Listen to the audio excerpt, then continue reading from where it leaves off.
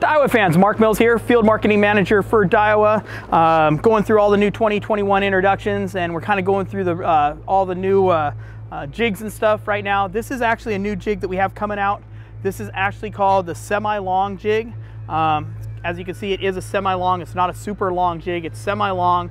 Um, so it's kind of an in-between jig. So it, it, you would think that this bait would fall really quick and fast, but this longer surface area does catch water. So it tends to fall out like this and then fall back.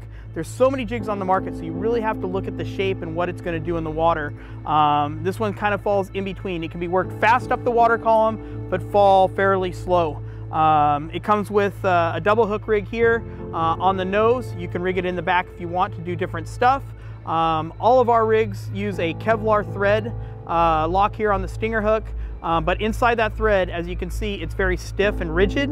Uh, what that does is we have fluorocarbon in there and that keeps the lures from getting all twisted and tangled. If this was really soft, they'd tangle up on the fall, uh, foul up, make the jig fall different, and you could possibly lose fish or uh, miss hooking fish. So this is the Daiwa semi-long jig um, introducing 2021 for ICAST this year.